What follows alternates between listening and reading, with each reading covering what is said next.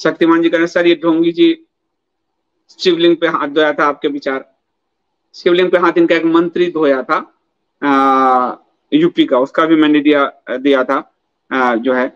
और ये सब ये शिवलिंग कहाँ मानने वाले हैं?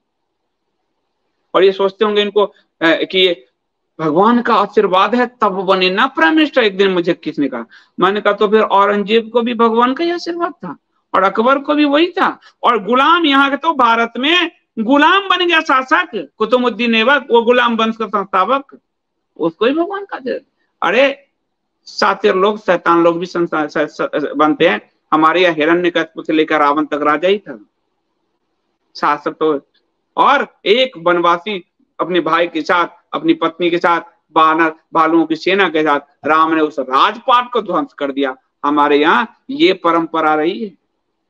दुर्योधन और धृतराष्ट्र राजा ही थे। हिरण्यकशपु राजा ही था, जिस तुम निशुम का वध किया माता ने।